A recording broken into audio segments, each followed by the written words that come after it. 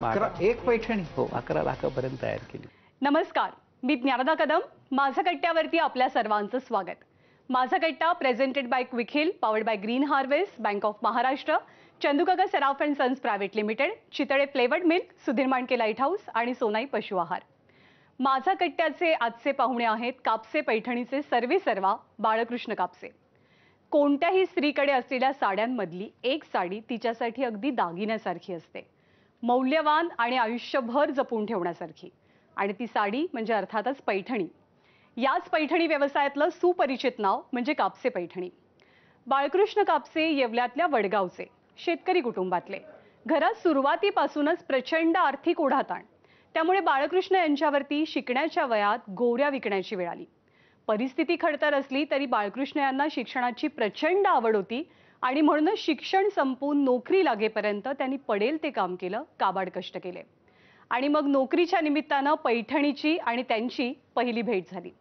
दुसऱ्यांच्या पैठणीच्या दुकानात काम करता करता त्यांनी प्रचंड मेहनतीनं पैठणीची गोष्ट शिकून घेतली आणि स्वतःचा व्यवसाय केला. आता या व्यवसायातले धागेदुरे त्यांना पक्के ठाऊक असल्यामुळे मग जम बसायला काही फारसा वेळ नाही लागला. पण हातात पैसे आल्यावर फक्त व्यावसायिक होऊन नफा कमावण्यापेक्षा त्यांनी माणसं कमवायची ठरवली. आणि मग जन्म झाला कापसे फाउंडेशनचा. आज या फाउंडेशनच्या माध्यमातून शंभर मुकबधीर मुलं पैठणीची कला शिकून स्वावलंबी बनली आहेत. हाताला काम नसलेल्या कारागिरांना नवसंजीवनी मिळाली आहे. दोन हजार एक साली पन्नास हजारांच्या भांडवलातनं सुरू झालेल्या कापसेंच्या व्यवसायाची आजची उलाढाल शंभर कोटींच्या पार आहे. एका हातमागावरनं सुरू झालेला हा व्यवसाय दीड हजार हातमागांपर्यंत विस्तारलाय. या व्यवसायानं आजवर जवळपास तीन हजार लोकांना रोजगार दिलाय नोकरी दिली आहे व्यवसायासोबतच सामाजिक भान जपत पैठणीची परंपरा आणि कला जोपासणाऱ्या बाळकृष्ण कापसे यांच्याशी आज गप्पा मारून त्यांची आणि पैठणीची गोष्ट आपण जाणून घेऊया. नमस्कार आपलं मनापासून स्वागत आहे.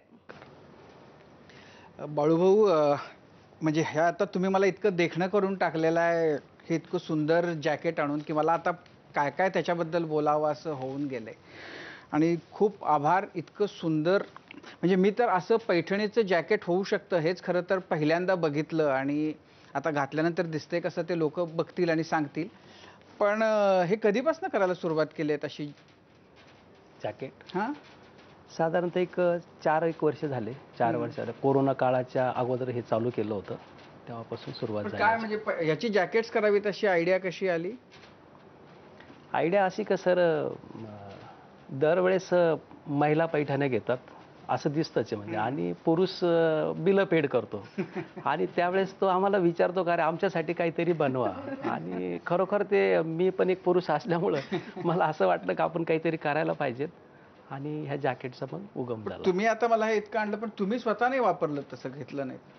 नाही सर आपण लोकांसाठीच बनवलंय ना ते. त्याच्यामुळं तुम्हीच वापरलेलं कधी चांगलं राहील ते?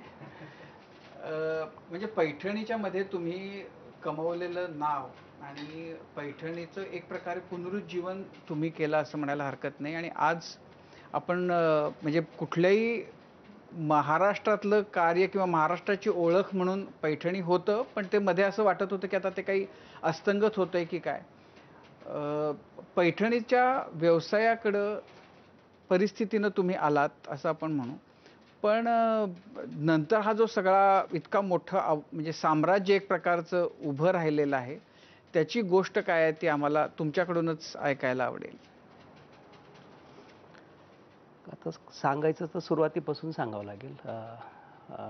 माझं बालपण वडगावमध्ये गेलं. आईवडील ऊसतोडीचे कामगार होते. आणि घरामध्ये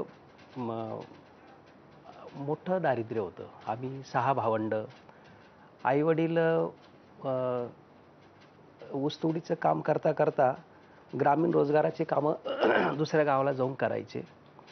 आणि त्यावेळेस शिक्षण घेताना आमच्यावर एक जबाबदारी होती भावंडावर. सरपण तोडून ठेवणं संध्याकाळचं. बैलांना चारा